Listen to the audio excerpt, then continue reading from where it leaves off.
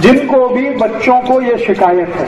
अक्सर बच्चों को ये शिकायत होती है कि रात में बिस्तर में लगवी कर देते हैं। तो इसकी सबसे अच्छी औषध है खारिक। खारिक देखा? खजूर। खजूर को दूध में डालिए। एक गिलास दूध में तीन चार खजूर डालिए। इसको उबालिए दूध को। उबाल के ठंडा करिए। फिर बच्चों को कहिए कि वो जो खजूर है उसको चबा के खाएँ और उसी दूध को पी लें। रात को सोते समय।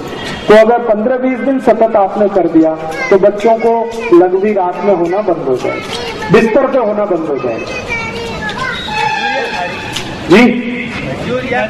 दोनों में से जो मिले, खजूर मिले तो खजूर खाइए, खारिक मिले तो खारिक खाइए। और खजूर और खारिक ना मिले तो छुआरा।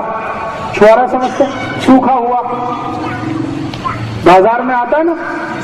किशमिश के जैसा छुआरा सूखा हुआ आता है। खारिक बोलते हैं। ठीक है। तो वो दोस्तों, सबसे पहले तो चैनल सब्सक्राइब करें, फिर लाइक, कमेंट और शेयर करें। और हाँ हमारा एंड्रॉयड ऐप डाउनलोड करना ना भूलें।